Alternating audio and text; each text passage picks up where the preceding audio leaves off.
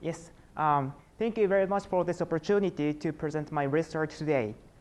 So in this talk, we want to construct a system of differential operators uh, that, uh, whose common solution space is conformally, uh, sorry, um, whose solution, uh, common solution space is invariant under a Lie algebra action.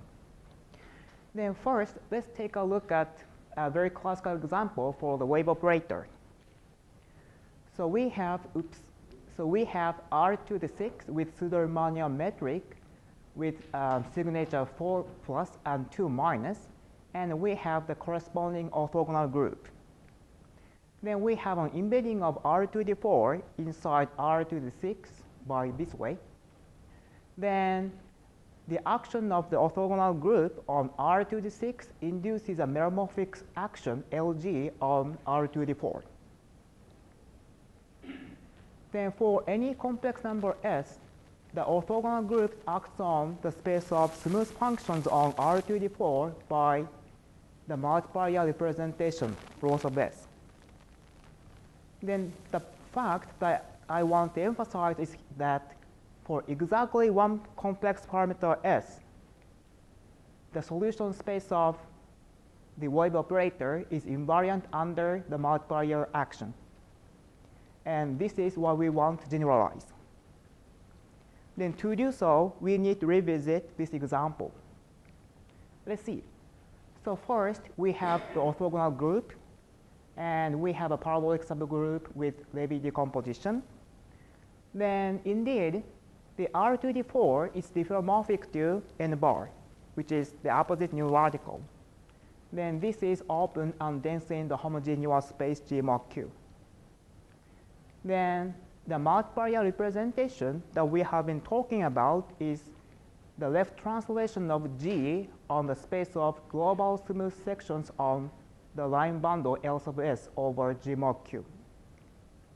Then let's denote by the capital S of uh, pi sub S the infinitesimal, uh, infinitesimal action of the left translation.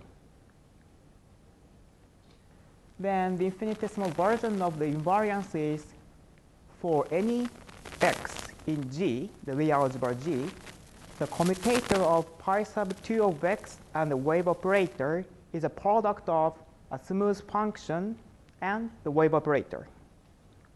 Then this is the equality that we want to generalize.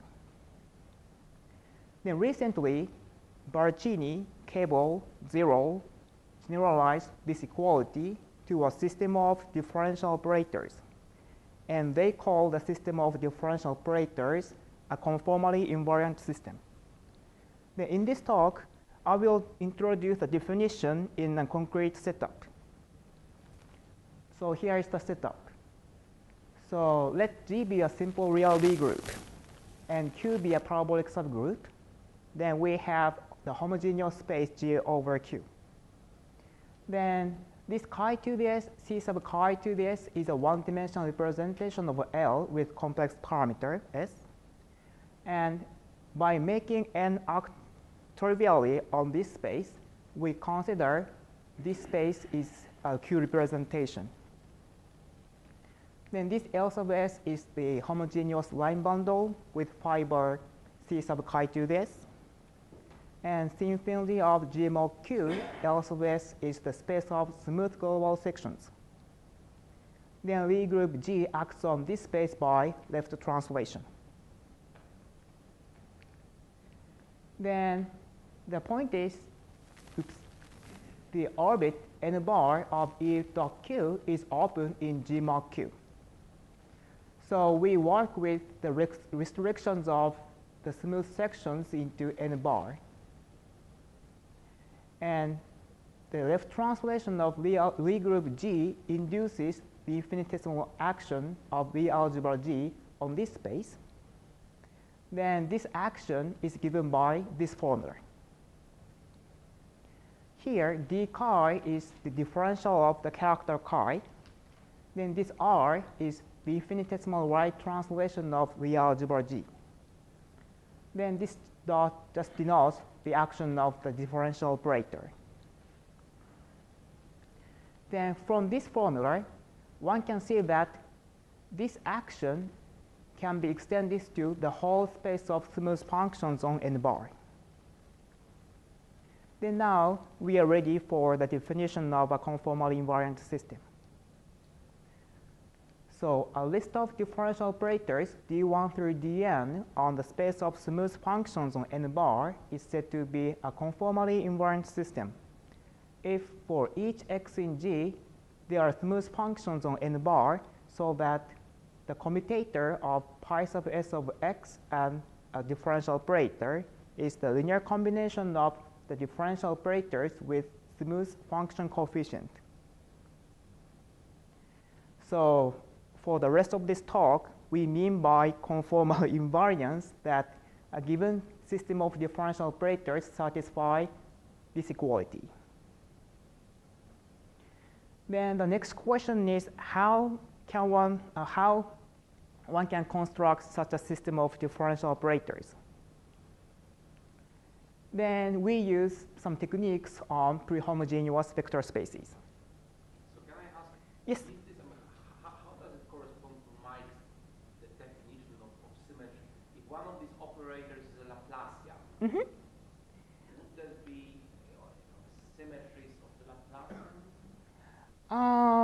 for special C? let's see. Um, so basically, so first of all, we have this example in the, for the classical wave operator, and then we found that for this classical case, oops, the solution space, so the solution of the wave operator, so let's see. So G acts on, oh, so how can I say? So G acts on the space of solu uh, solution of the wave operator when s equals 2. And then just uh, we want to generalize the infinitesimal version of this fact. So I'm probably I'm really not sure how um, this notion of conformal invariance is related to the Mike's um, ideas of conformal invariance, I guess. So this is Kostant's version of. Yes, right. Yeah. Yes. So Kostant found, yes, um, this fact, yes. If he had just one operator, it looks pretty much Yes, the he, same. he just has one operator. But he's got many. Yes, it- There's many in this there's- talk. Right, there's several Yeah. operators here. If you just have one operator, Right. you, you can try and absorb the, uh, the C, the, the, the function C into having a different operator, so then you should be going between a line bundle and another line bundle. Mm-hmm. Is that Yes. right? Yeah. So, but, but, uh, yeah, I mean, at the moment, you're only specifying what the line bundle is on which the, on which the differential operators are acting, not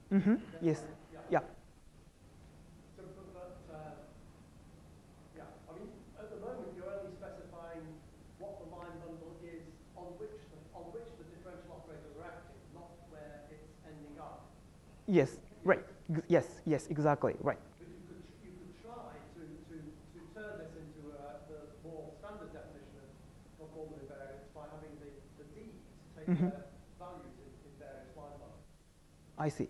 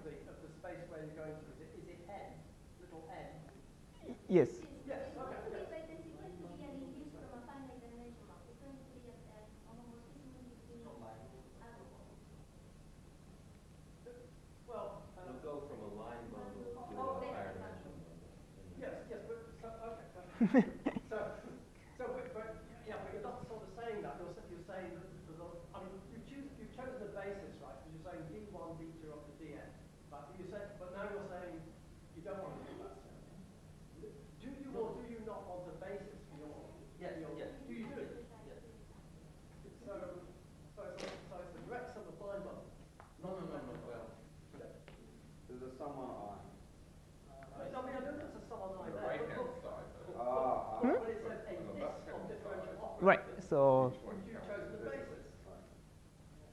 yes. Well, anyway, let's see what he does with it. Yeah. Uh,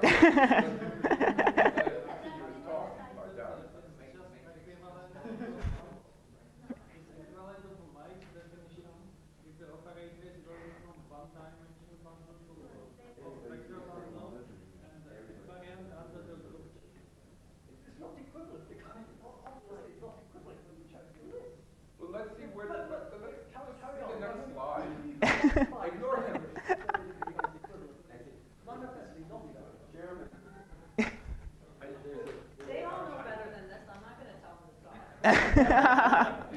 okay, can I? There's a theorem that says if you have such a system, Yeah, but that's a theorem. then there's an invariant differential operator from a line bundle, sections of a line bundle, to something like the span of the DI, so a vector bundle. Okay, yeah. Okay, But it, it's not directly this, and there's a theorem that says they correspond. Let's, let's watch the car. Yeah. But if you're going to say that it's Look at our average check. Uh, then can I? All right. So anyway, let's make uh, some system of conform uh, system of differential operators. All right. So I said that we use techniques on pre-homogeneous vector spaces. So first we give a z grading on G. So, um, so some adjoint um, action on certain element in Cartan subalgebra has only um, integer eigenvalues. So eigenspace decomposition of always gives such a z grading. Then it is well known that the direct sum of eigenspaces of non-negative eigenvalues is a parabolic subalgebra. Then Levi factor is g of 0, and nilpotent radical is the direct sum of eigenspaces of positive eigenvalues. And the opposite nilradical is a direct sum of the eigenspaces of negative eigenvalues. Then the fact is that the LC adjoint G of 1 is a pre-homogeneous vector space. So this means that G of 1 has an open dense, uh, open dense LC orbit. And it is natural to associate a pre-homogeneous vector space covariant maps tau sub k on G of 1. Here, we apply adjoint of x for x in G of 1 k times to this special element. Then we take an irreducible LC submodule W that is not orthogonal to tau sub k. Then given basis of W star, which means the dual of W, we define a linear map tau sub k tilde from W star to polynomial algebra of G of 1. Then in fact, tau sub k tilde of W star are polynomials on G of 1 of degree k. So tau sub k tilde is a linear map from W star to the polynomials of G of 1 of degree k. Then each vector in W star gives a kth order differential operator by these algebraic operations. Then we denote by omega sub k of W star, the kth order differential operator. Then we call the system of differential operators the omega k system over L sub s. Then, as we have seen in the example for the wave operator, the omega k system is not in general conformally invariant. It depends on the complex parameter s. So the question is, what complex parameter s the omega k system is conformally invariant? Then we'll see some results for this problem. So first of all, Barchini Kable Zierau studied the case that Q is a Heisenberg parabolic. Then in this case, we construct first, second, third, and fourth order differential operators. Then for first, second, and fourth order differential operators, the complex parameters S are determined explicitly for which the systems are conformally invariant. On the other hand, for the third order differential operators, first, to obtain conformal invariance, we need to modify the construction a little bit. Then we'll see the modification later in an example. Then with the uh, modification for the exceptional algebras, there, uh, it is shown that there exists the omega-3 system that is conformal invariant over line bundle L sub 0. The S0 is the special value. On the other hand, for classical algebras, the omega-3 system does not exist for type A n for n is greater than or equal to 3, bn and cn for all n, and dn for all n greater than or equal to 5. Then the question is, how about A2 and D4 case? Then, yes, question? Then I solved the existence problem for the omega-3 system for those two cases. So if G is SL3C or SO8C and Q is a Heisenberg parabolic, then the omega-3 system does exist for certain complex parameter. Then later on, we'll see an example for this case, G equals SL3C. And I also study the case that Q is a maximal non-Heisenberg two-step nilpotent parabolic. So here is some result. So if G is a complex simple Lie algebra and Q is a two-step, a maximal non-Heisenberg two-step nilpotent parabolic, then the omega 1 and omega 2 systems constructed as above that are conformally invariant for special value of S. Then these special values are explicitly determined.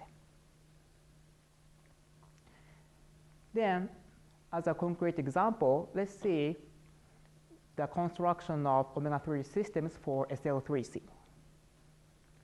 So in this case, the Heisenberg parabolic is a Borel subalgebra. And we denote by gamma the highest root of G. Then covariant map tau sub k is defined this way. Then each uh, one-dimensional subspace of G of negative 1 is an irreducible LC submodule. So we can construct differential operators from each subspace.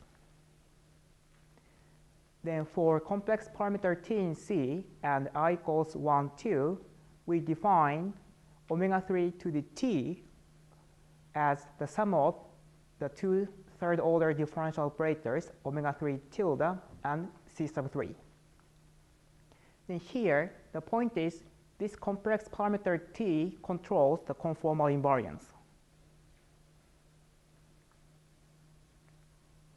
Then the goal is we want to show that there exist the complex parameters ti and si so that the omega 3 ti of x of negative alpha i is conformally invariant over this line bundle.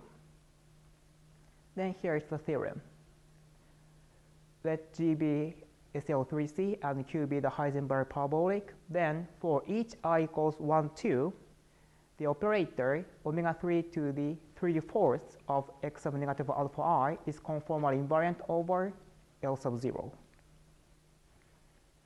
That's all my talk. Thank you very much for attention.